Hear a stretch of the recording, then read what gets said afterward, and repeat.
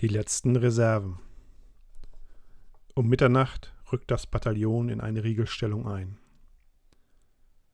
Wir sollen den morgen in der Früh erwarteten Großangriff abfangen oder wenigstens aufhalten, bis frische Truppen heran sind. Als letzte Reserve werden wir heute in den Kampf geworfen. Wie eine gewaltige, lebende Schlange zieht die Kompanie durch die Nacht. Auf einer mächtigen Holzbrücke einem noch unversehrten Glanzstück unserer Pioniere, überschreiten wir in schwindelnder Höhe die Memel. Tief unter uns, zwischen Hängen eingebettet, rauscht der kleine Bach der Wolga zu. Dumpf dröhnen unsere Schritte auf der Brücke. Rechts und links greifen gewaltige Qualm- und Feuersäulen in die jetzt so unheimliche Stille der Nacht.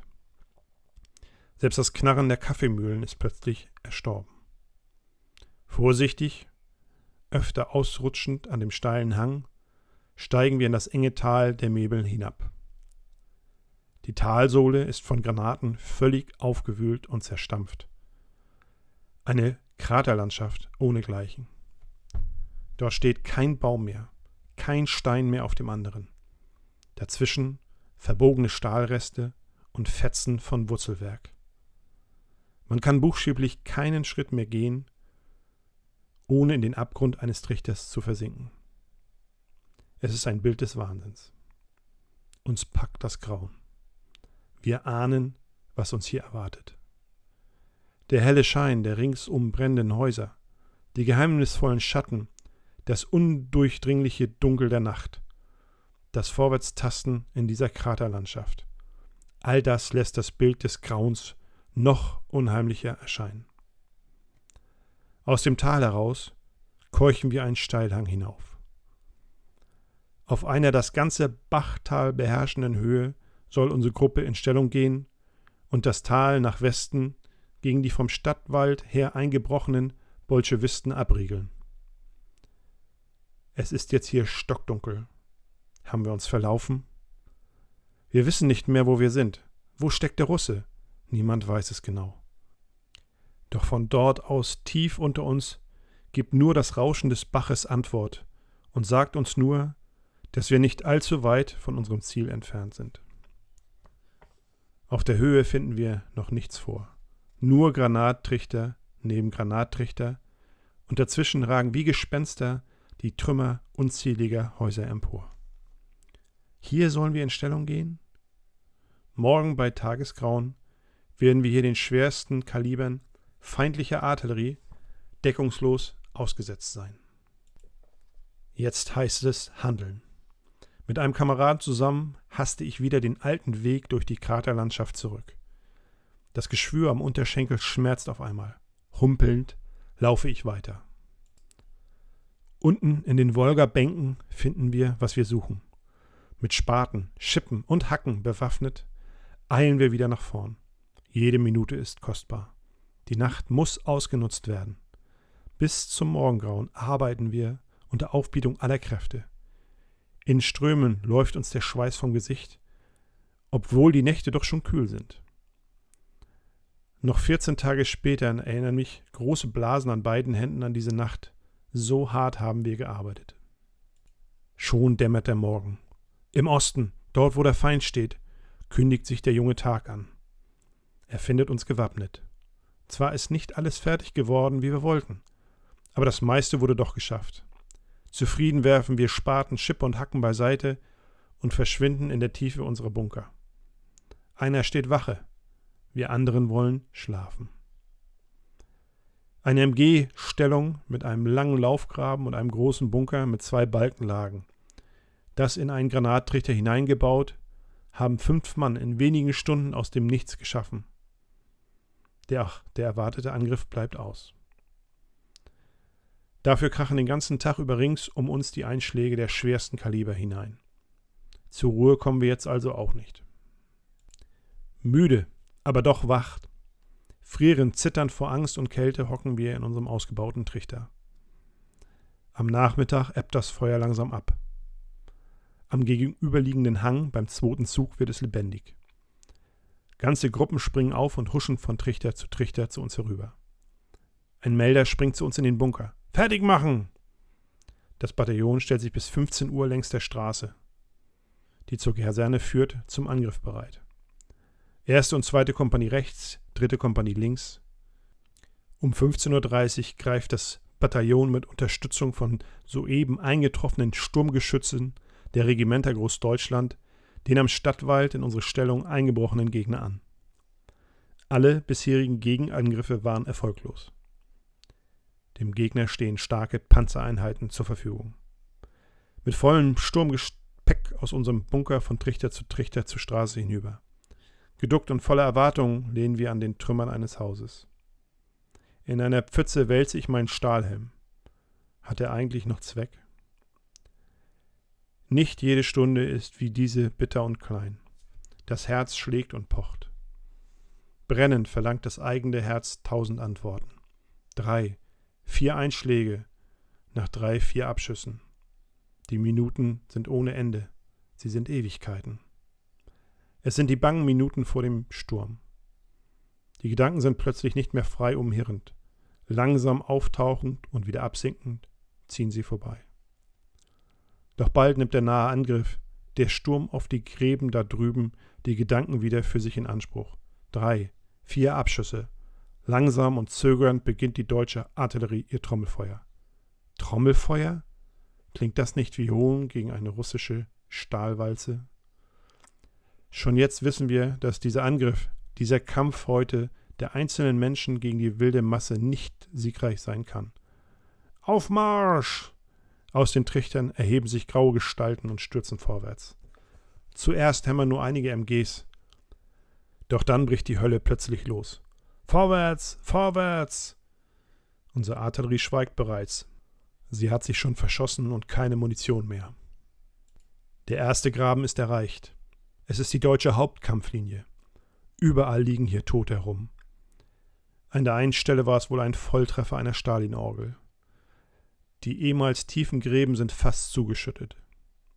Wenige Minuten bleiben wir hier liegen, während die schweren Brocken der Granatwerfer ständig um uns herum krepieren. Aufgerissene Erde, Fontänen aus Eisen und Lehm spritzen über uns hinweg. Auf! Marsch! Unteroffizier Grünewald springt auf. Nur wenige folgen ihm. Im Getöse der Granaten und Kichern der MGs bleibt der Angriff stecken. Selbst die verspätet eingetroffenen Sturmgeschütze können uns nicht mehr vorwärts helfen. Aus einem Schlage schon die Flammen und lange Rauchwolken ziehen hinter ihm her. Abgeschlagen. Ich denke an so manchen siegreichen Angriff daheim auf dem Übungsplatz. Damals gewannen wir an jedem Morgen den Krieg. Die Kompanien sammeln sich in dem etwa 300 Meter hinter uns liegenden Graben. Ich bin mit Unteroffizier Grünewald zu weit vorgekommen. Wir können nicht mehr zurück. Sobald sich jemand von uns am Trichterrand zeigt, pfeifen ihm Geschosse aus russischen Gewehren um die Ohren. Wenige Meter von uns entfernt liegen einige vorgeschobene Scharfschützen. Hinter uns schreit plötzlich jemand auf. Ufts Bertenburg ist schwer verwundet. Von allen Seiten klingt jetzt zu uns das Stöhnen und Schreien der Verwundeten herüber. Ein Stahlhelm, den wir auf den Trichterrand legen, ist bald wie ein Sieb durchlöchert. Zu dreien hocken wir in einem frischen, von einer Granate aufgewühlten Trichter. Wir kauern fast am Boden. Der Körper ist fest ans Erdreich gepresst. Die Finger umklammern den Stiel einer Handgranate. Die Erde bebt, wieder gellen die Schreie. Der Kopf dröhnt vom Einschlag der Geschosse, und im Hals wirkt ein stickender Qualm. Surrend streichen die Geschosse russische Gewehre über den Granattrichter und schlagen explodierend in die rückwärtige Trichterwand. Wenn jetzt der Iwan kommt, sind wir verloren. Raus können wir bei Tageslicht aus diesem Trichter nicht mehr. Erst in der Dämmerung, nach langen, bangen Stunden des Wartens, springe ich aus dem Trichter heraus. Niemand hat mich bemerkt. Vorsichtig gleite ich zurück. In den Gräben geht alles drunter und drüber. Pioniere, Kavallerie, Regiment Großdeutschland und Infanterie, alles liegt durcheinander. Erst um Mitternacht finde ich zur Kompanie zurück. Von unserer Gruppe ist nur mehr Unteroffizier Grünewald übrig geblieben. Die anderen Einheiten verschwinden bald aus dem Graben, werden nach hinten herausgezogen. Wegen der hohen Verluste muss die Kompanie neu eingeteilt werden. Ja, die Verluste dieser Tage sind gewaltig, fast unglaublich. Wieder ist die Nacht erfüllt vom Knarren der Kaffeemühlen, vom Krachen der Bomben und Schreien und Stöhnen der Verwundeten. Ein übler Geruch aus dem Niemandslande bringt uns Kunde von den Leichenhaufen, die dort liegen. Kameraden tragen einen Verwundeten vorbei. Es ist Unteroffizier Berteburg. Ein Explosivgeschoss hat ihm die Schädeldecke aufgerissen.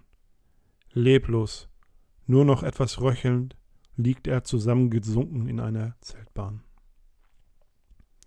In den Gräben liegen überall Tote herum. Wir werfen die Leichen irgendwo auf die Deckung, denn zurückschaffen können wir sie nicht. Vor einem kleinen Bunkereingang lehne ich an der Grabenwand. Wasserbehälter, Tornister, alte Funkgeräte, Draht- und Kabelrollen liegen überall herum. Wir richten uns in dem verlassenen Bunker der Telefonvermittlung des Regiments häuslich ein. Es ist mit fünf Balkenlagen ein kleiner, aber fest gebauter Bunker, in dem wir jetzt zu viert hausen. Sogar Pritschen auf denen es sich sicherlich herrlich schlafen lässt, finden wir hier vor. Vergeblich suchen die Augen das Dunkel zu durchdringen. Während ich hinüber zum Feind schaue, klingt das Klirren der Spaten an mein Ohr. Irgendwo rechts und links von mir schanzen die Kameraden an den zerschossenen Gräben. Essenholer hasten vorbei, doch als sie zurückkommen, sind ihre Kochgeschirre leer. Die Küchen sind nicht durchgekommen. Einzelne Schüsse peitschen durch die Nacht. Krachend detonieren irgendwo Handgranaten und von fern klingt ein schrilles Urä zu uns herüber. Ich greife zu der Leuchtpistole. Zischend fährt die weiße Rauchbahn in die Nacht und mit leisem Knacken wird oben die weiße, strahlende, leuchtende Kugel geboren, die sich langsam zum Fallen neigt. Vor unserer Stellung bleibt es ruhig. Doch rechts und links hinter uns hämmern jetzt Maschinengewehre und rote Leuchtkugeln gehen hoch. Wieder fallen Schüsse und das Detonieren ganzer Serien schwerer Wurfgranaten poltert wie ein Gewitter durch das weite, nächtliche Land, krachend, laut, gemein, herausfordernd. Dann ist plötzlich wieder Ruhe. Ist der Russe durchgebrochen? Sind wir schon abgeschnitten? Alle sind wir jetzt wach und starren mit müden Augen in die Nacht. Verbindung nach rechts und links haben wir schon längst nicht mehr. Jeden Augenblick kann Ivan in unserem Rücken auftauchen. Vergeblich suchen die Augen der Finsternis irgendein Geheimnis abzuringen. Zweifel und Fragen lasten auf uns, und die stille Ungewissheit reißt bald noch mehr an unseren Nerven als das Toben der Schlacht. Unsere Gesichter sind alt, hart und grau geworden, wie schwere Schatten liegen auf unseren Zügen die Spuren der schweren Strapazen, der Schlaflosigkeit, der unablässigen Gefahr, der gespannten Erwartung und des immer wieder aufflackernden Kampfes. Wir warten auf den Tag, wir freuen uns drauf, denn er bringt uns Erlösung aus der quälenden Ungewissheit. Doch kaum haben die hellen Strahlen der Septembersonne das verschwommene Grau der Dämmerung durchbrochen, da sehnen wir uns schon wieder das alles verhüllende Dunkel der Nacht herbei. Bei Tagesanbruch greift der Russe wieder an. Kampfbereit mit vollem Sturmgepäck stehen wir in unseren Gräben. Fest umkrallen die Finger den Stiel der Handgranate. Werden wir die Stellung halten können? Noch ist es nicht ganz hell, noch kann man keine Einzelheiten im Gelände erkennen. Das ist die Zeit der Angriffe, die kritische halbe Stunde der beginnenden Dämmerung. Rechts und links von uns zischen rote Leuchtkugeln auf. Das Hämmern der Maschinengewehre und das Krachen der Handgranaten klingt bis zu uns herüber. Von fern hören wir das Malen der Ketten der russischen Panzer. Nun wird es an der ganzen Front lebendig. Vor uns tauchen aus der undurchdringlichen Wand von Dunkelheit und Bodennebel plötzlich die Angriffswellen der Gegner auf. Unaufhörlich springen die erdbraunen Gruppen von Trichter zu Trichter gegen unsere Front vor. Dazwischen hämmern wieder unsere Maschinengewehre, krachen die Handgranaten. Plötzlich schlagen kurz vor uns die Flammen eines mittleren russischen Flammenwerfers ein. Doch bevor er noch näher rankommen kann, zwingt ihn unser Feuer in Deckung. Ich lege an, doch ich verfehle ihn. Nochmal springt er auf, doch diesmal läuft er rückwärts. Ich bekomme das Schloss meines halb eingerosteten Gewehres nicht auf, sonst hätte ich ihn wohl erledigt.